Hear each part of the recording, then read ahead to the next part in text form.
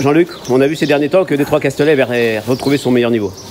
Oui, exactement. C'est ben, ses, dernières performances le, le montrent. Voilà, donc euh, le choix est bien, il est resté bien. C'est un peu euh, une course, une belle course, car c'est une course fermée. Euh, bon, c'est pas 700 000 quand même, mais bon, c'est une course fermée. Le départ à Tostard, c'est une, une distance qu'il affectionne. Donc, on est assez confiant, c'est normal. Sur le papier, il a vraiment tout pour plaire. Oui, bah, surtout qu'il est revenu à son meilleur niveau. Peut-être que, peut-être que ça n'a pas duré, mais là, dans les médias, ces deux dernières courses montrent qu'il est revenu à son bon niveau. Et il y a deux ans, à pareille époque, il terminait quand même troisième du Balière en 1-10-2 derrière Bold Eagle. Oui, exactement. Non, non, mais je vous dis, euh, là, euh, le cheval est bien, c'est sa distance. euh, normalement, c'est, il doit disputer l'arrivée. Oui, il n'y a pas de Davidson Dupont, il n'y a pas de Dorgos de Guez. Euh, Jean-Luc, je sais que c'est pas dans votre vo- vocabulaire, première chance.